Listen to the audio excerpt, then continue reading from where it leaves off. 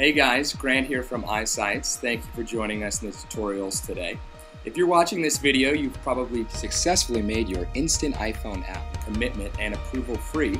So now I'm going to show you how to download it and install it to your iPhone home screen. Now that you've distributed, the first thing you're going to do is click on the browser icon on your iPhone home screen. That's going to take you to the browser, and in the search bar, you're going to type in the link that you provided under the Distribute tab in your dashboard, and then that's going to be followed by .isites.us. Go ahead and press Enter. And when you do, that's going to bring you to your application install screen.